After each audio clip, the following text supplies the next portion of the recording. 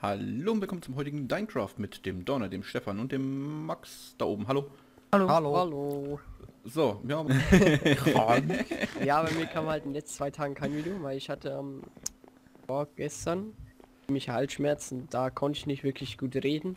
Und gestern ging es mir auch noch nicht so gut, aber heute habe ich mich in der Lage gefühlt, gefühl, äh, ge, Gefühlt. Gefühlt, ja genau, gutes Deutsch, äh, wieder mal ein Video aufzunehmen. Und ja, das war es jetzt halt für Genau, zwei bei- Tage war ja. kein Video, aber Ja, bei mir, bei mir auch nicht, weil den ersten Tag habe ich verballert mit Videos und den zweiten Tag habe ich, für die, die es mitbekommen, gestern, äh, für euch jetzt vorgestern, haben wir ja gestreamt von hier. Dann haben wir auch ein bisschen was gemacht, könnt ihr ja mal schauen, unten Twitch ist der Link. Das ist alles aufgezeichnet, waren glaube ich, ich glaube knapp zwei Stunden oder so. Ähm, Ja, fast. Gut, und jetzt heute wieder Dinecraft und morgen Dinecraft und äh, Ich kann das nicht Space tun. Astronomy. Gut.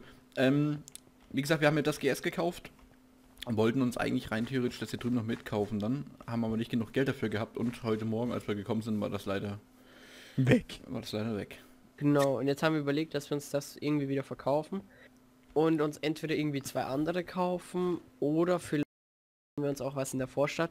Das wissen wir noch nicht genau. Ja, müssen wir mal schauen. Also wie Könntest gesagt, ja mal in die Kommentare schreiben. wenn, äh, ja genau, das könnt ihr mal mitentscheiden, ob wir da in der eher was in der Vorstadt kaufen sollen und dann halt ein Vorstadthäuschen bauen sollen, äh, nee, nicht Vorstadt, halt in der, in der Altstadt, und so ein Altstadthäuschen bauen sollten und da vielleicht dann irgendwann unten auch mal einen Shop oder sowas reinbauen oder äh, Ja, sollen wir hier was in der Vorstadt bauen? das Ding ist halt, wenn wir hier in der Vorstadt sind, können wir halt ganz gut so Bäume und so farmen und so Zeug. Äh, und Max kann halt auch schon fischen. Lol. Ähm, dafür können wir halt in der in der Vorstadt ähm, nicht wirklich guten Shop machen, weil die einzigen, die hier vorbeikommen, sind ein paar Nachbarn. Das heißt, es ist wirklich nicht viele Leute, die hier vorbeikommen. Die Frage ist halt, bringt es wirklich so viel in der Altstadt jetzt ein Grundstück zu bauen, eine Shop-Lizenz zu holen, ob das wirklich dann, ähm, ob sich das wirklich ja lohnt, das Grundstück in der Altstadt zu holen. Das frage ich mich noch. Also ich glaube mal auf jeden Fall eine Shop-Lizenz ist auf jeden Fall schon Ja, nicht schlecht ist es auf jeden Fall. nicht schlecht. Weil ich Frage- meine, selbst wenn wir hier was holen, können wir so trotzdem die Shop-Lizenz holen und hier das, äh, hier dann den Straßenverkauf machen, vorübergehen oder so, wenn wir uns dafür entscheiden.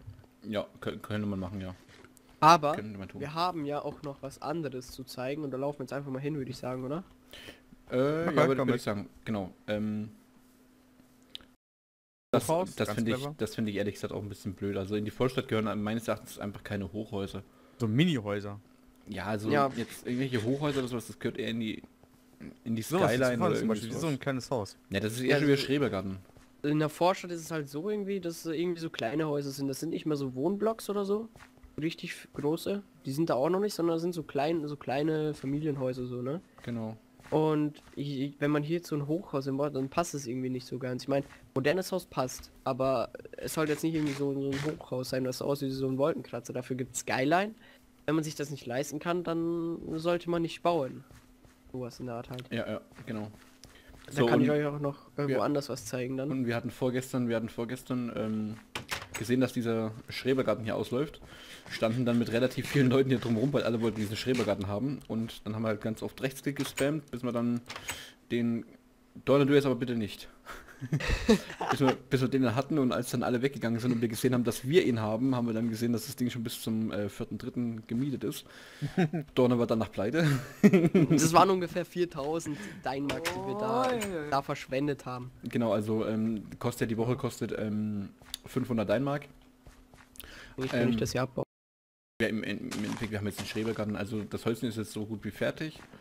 Wir haben jetzt hier im Schreber, im Schreber. Ja, ich muss sagen, der der Schrebergarten ist jetzt nur mal so, oben ist das Haus fertig, aber hier unten ist halt alles noch so, ja, Im Farmbereich noch. ist noch Müssen nicht, noch alles noch nicht so richtig. Also wir haben hier unten schon einen richtigen Farmbereich, wir haben hier unten schon Kartoffeln. genau. Also wir, wir, wir, wir, wenn ihr da Interesse habt, wir verkaufen schon richtig krass Kartoffeln. Also wir werden auch Obst- und Gemüsehändler. Genau, für, für unsere, ich sag mal so, für unsere Abonnenten, wenn ihr sagt, ähm, wenn ihr uns so schreibt, wir kennen euch, dann geben wir euch ein Stick Kartoffeln um, um wie viel? Was sagen wir? 10 Ja, ja, um 10. Also wenn ihr 10. euch, wenn ihr Wenn euch ihr darauf... sagt, dass ihr Abonnenten von uns seid, dann geben wir euch einen Stick Kartoffeln um 10 DM. Das ist ein fairer Deal. Weil ich meine, ihr schaut ja unsere Videos und wenn ihr auch hier drauf spielen und essen Oh, da wollt, kommt auch dann jemand gerade einer vorbei. bekommt ihr das auch so billig. Genau, Normaler also- Preis ist bei uns 15 DM, also 10 Genau, also ich mache jetzt, ich mache jetzt, wenn ich jetzt äh, große Stacks verkaufe, zwar auch ein bisschen günstiger, aber auch dann ist das günstigste ähm, 12 Deinmark pro, pro Stack. genau. Und wenn ihr euch jetzt dann darauf beruft, dass ihr Oder beziehungsweise wenn ihr das ja Abonnenten? gesehen habt, dann und ihr sagt, äh, ihr seid Abonnenten von uns und wollt gerne Kartoffeln haben, dann verkaufen wir euch die für das Deck um 10. Also, das ist denke ich ein fairer Deal, ja. Mein Verständnis nicht, weil ansonsten würde ja jeder ankommen und Nein, wir haben halt auch Produ wir haben halt auch Produktionskosten und sowas. genau das auch. Produktionskosten. Ja, Aber, aber ich meine, es lohnt sich wahrscheinlich immer mal bei uns vorbeizuschauen und mal zu sagen, hey, hier, ich kenne dich und hin und her. Hat mir heute, hat mir heute schon ein paar Leute. Und ja, dann hoffe ich mal, dass wir dann eventuell vielleicht auch demnächst mal den, den Status endlich mal von daran kriegen, weil ich meine, verdient hätte man ja. weil ich meine, wenn ich mir überlege, ja, ich will jetzt ke- keinen ansprechen, da. Aber Tust du doch eh gleich. nein, mache ich nicht. Der dritte von oben links. Na, sagen, sagen wir Nein, mal so, mal, mal ernsthaft, also. im ähm, Vergleich dazu, wie viel, wie viel äh, in der Größe von, von Chris und den YouTubern hier Bist- drauf, müsste er eigentlich direkt YouTuber bekommen. bist du eigentlich gerade, bist du eigentlich gerade gesprengt worden? Aber nein. Nö, warum? Weil ich habe gerade was explodieren hören. Nö, nö, das war vorher schon. Nee, ähm, aber wie gesagt, äh, ihr könnt das ja auf jeden Fall mal mitentscheiden, ob wir in der Vorstadt bleiben sollten oder ob wir eventuell doch in die Altstadt ziehen sollen. Also das Geld für ein Grundstück in der, in, in der Vorstadt hätten wir jetzt mittlerweile. Genau. Ist halt jetzt nur die Frage, ob wir jetzt wirklich in der Vorstadt bleiben und uns dann wirklich eventuell vielleicht hier die hier was kaufen. Also, um es kurz zu sagen, es kostet beides ungefähr gleich viel, also es wird, der Unterschied ist nicht relevant. Nee, der, der Unterschied selbst ist nicht relevant. Also das liegt eigentlich rein an euch. Ihr könnt es gerne entscheiden. Also- uns eigentlich bloß Altstadt oder Vorstadt reinschreiben. Persönlich wäre ich eher derzeit für die für die Vorstadt. Weil derzeit sind wir halt noch ein bisschen im Aufbau, wir sind halt noch nicht so Bonzen, die schon ziemlich viel Geld haben. Genau. Oh, ja. Ich Gut. eher mal. Und ähm, du wolltest noch was zeigen, ne? Irgendwie in, in Aztek oder irgendwie sowas? Ja genau, und zwar wie wir es hier schon Schau mal, sehen, dass hallo. die Leute halt hier Hochhäuser bauen.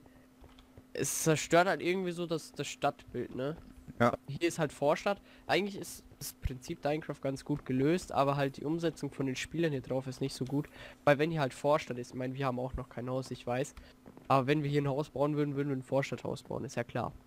Aber wenn halt hier eine Vorstadt ist und dann hier irgendjemand einen Wolkenkratzer reinbaut, der andere wieder einen Bauernhof und so, dann passt das Ganze halt nicht. Dann ist das halt, warum macht man dann überhaupt ähm, verschiedene Teile von Städten? Ja. Dann könnte man einfach Gässe hin platzieren und dann hat man halt wieder das 0815 Design. Aber eigentlich. Und dazu kann ich auch noch ein ganz gutes Beispiel zeigen, wenn ihr mal zum Spawn kommt. Ey, wir brauchen 33.000. Ja, kommt mal selbst spawnen. Wir brauchen 33.000. Was? Dann können wir alle vier kaufen. Können wir Ja, okay, aber was, was bringt's dann? Da können wir ein großes Eckhaus bauen und haben einen geilen Garten. Ja, okay, das Haus, das Haus würde ich auf zwei bringen. So, jetzt geht mal bitte, gehen wir mal nach. Und endlich, und endlich, können wir, endlich können wir rumspringen wie so Mongos, weil wir, wir haben eh Essen Genau. ohne Ende. Wir haben, wir haben ziemlich viele Melonen, deswegen essen wir die auch die ganze Zeit. So, jetzt muss ich mal schauen, wo das ist. wo das Portal hier ist. Ich glaube, das hieß Aztek oder so. Ne, Takataku, oder? Müsste das eigentlich sein. Ich hoffe mal. Und? Ja, ja, das ist es. So, jetzt müssen wir mal ein bisschen weiterlaufen. Ich meine, das ist halt jetzt so, so, so Dschungel, ne? Das heißt, es sollte so dschungelmäßig erbaut sein. Hm. Wenn wir uns das hier mal anschauen, das sieht schon ganz gut aus. Das passt irgendwie in den Dschungel rein. Finde ich, das passt. Vielleicht sollte Ja. er vielleicht noch das Holz hier wegmachen. Ähm, aber wenn wir jetzt mal hier ein bisschen weitergehen, ich habe da letztens was gesehen. Warte mal. Müssen wir mal ein bisschen laufen. Und zum Baumhaus Baumhaus- auch nicht. Ja, Gut, wir laufen dir ja schon Das Baumhaus hinterher, ist also eigentlich, von muss ich sagen. Mach mal, mach, Aber- mach mal super, super Fälle an. Ich brauch so einen scheiß, Aber so einen wenn scheiß wir jetzt zum Beispiel dann hier hinten zum Beispiel hingehen, dann das Haus hier zum Beispiel, das sieht eher aus wie so, so ein Mittelalterhaus. Sieht erst so eine mittelalterliche Mühle aus. Genau, das ist Flügel so eine vorne dran. mittelalterliche Mühle. Oder das hier, das Weizen, warum baut man in den Dschungel Weizen an? Das ist eigentlich das, was man nicht machen sollte. Ja. Oder hier hinten, das ist einfach so ein nur aus Steinen so. Ja, okay, viele, vielleicht noch viele bauen einfach nur drauf los und ohne halt ohne Thema. Genau, ich meine, für was baue ich mich in irgendein Gebiet, wenn ich halt, ähm, ja, irgendwie halt dann irgendwas baue. Ich meine, es gibt ja bestimmte Vorstellungen, was man bauen soll. Ja. Wenn man auch hier eingibt, zum Beispiel slash, äh, slash Vorstadt, dann kommt auch Bau ein Haus, wie es dir gefällt. Die Hauptsache ist, dass es zu einem schönen Stadtbild beiträgt. Ich meine, das wie gefällt ist halt natürlich ein bisschen auslegbar, aber Ich finde, eine Vorstadt könnte ein Vorstadthaus und kein Hochhaus oder keine Ahnung, was man sonst irgendwie bauen sollte. Ja, Ja. ich hatte hier vorne irgendwo gerade noch so ein Haus. Es wäre so wie wenn, wenn jetzt irgendjemand, wenn ihr jetzt irgendwie in der Vorstadt wohnt halt. Ihr habt schon ganz, äh, hier sind so Reihen von Häuser halt und äh, äh, eins davon ist euers. Das wäre so als wie euer Nachbar würde da jetzt einen Bauernhof hinbauen. Der andere würde dann irgendwie ein Hochhaus hinbauen. Das, würde einfach nicht passen. Deswegen gibt es ja auch eine Innenstadt und alles mögliche. Aber ich meine, wir halt sind ja jetzt so- hier im Dschungel, ne? Aber, aber, ähm, wie weit weg von den Häusern darf man irgendwas abbauen? Ich brauche eigentlich, eigentlich bloß einen so einen scheiß Sapling. Ja, du kannst gar nichts abbauen. In der ganzen Welt hier nicht. Extra, es Ne. gibt extra eine Farmwelt und extra eine diese Welt. Er hat einen Baumhaus gebaut. Ah ja, stimmt. Mann. Ja, eine ba ein Baumhaus passt irgendwie noch. Ja, aber guck dir, guck dir mal, guck dir mal das Baumhaus mal an. Ja, ich muss jetzt sagen, Da Null. fehlen jetzt noch so ein bisschen paar. Da hängt jetzt eine Deutschlandflagge dran. ich meine, wie schön das es ist, das hängt halt immer davon ab. Ich meine, jeder kann nicht gut bauen. Ich meine, ich sage auch nicht, dass ich jetzt gut bauen kann, aber man sollte zumindest schauen, dass man irgendwie baut nach dem, nach der äh, Bereich, wo man halt wohnt. Ich meine, man kann sich ja ganz cool aussuchen. Ich meine, wenn ihr ein Hochhaus bauen wollt, müsst ihr halt sparen und dann könnt ihr euch auch in Dings was kaufen, in Skyline. Farm Finde nur in halt. Verbindung mit einem Haus. Sprich als Garten. Easy.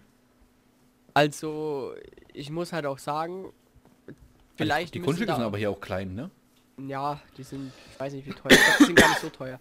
Aber auf jeden Fall muss ich auch hier mal irgendwie ein bisschen sagen, dass die Mods oder das Arbeitsamt, Da- muss man durchgreifen. die müssen hier mal, mal ein bisschen härter durchgreifen, finde ich, weil ich meine zumindest den Leuten sagen, ja, baut da vielleicht mal was, was ein bisschen besser hinpasst oder so, ne? Und wenn die dann halt nicht nichts machen, dann muss man das auch vielleicht mal ein bisschen verändern, ja. Vor allen Dingen, Ja, halt jetzt so meine vor allen Idee. Dingen äh, im Begriffen, alles klar. Das heißt in Begriffen. Dankeschön.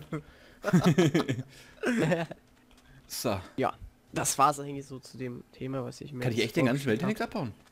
Nein, du kannst Nein. überall nichts abbauen. Ich will Dschungel haben, ich will so ein, Sapling haben. Dann müssen wir mal in die Farmwelt gehen und da vielleicht gleich mal suchen, oder? Easy. Was ist hier unten? Aber ja, Eine Farm? ich würde sagen, wenn ihr nichts mehr zum äh, sagen habt, Ja. dass es das jetzt für die Folge war. Wenn es Ja. euch gefällt, würden wir uns natürlich mal eine positive Wertung freuen. Schreibt uns in die Kommentare, wo wir jetzt bauen sollen und begründet das Ganze vielleicht auch, weil wenn ihr einfach nur schreibt Vorstadt, dann ja, das können wir jetzt auch denken, Vorstadt oder Altstadt. Die Frage ist halt, was sind die Vorteile so? Vielleicht kennt ihr euch ein bisschen besser aus. Könnt ihr mal in die Kommentare Ja, schreiben. Ansonsten schaut bei den anderen auf jeden Fall vorbei. Genau, links unten in der Und- Beschreibung. Sonst sehen wir uns morgen wieder. Haut Bis dahin. Tschüss. Tschüss.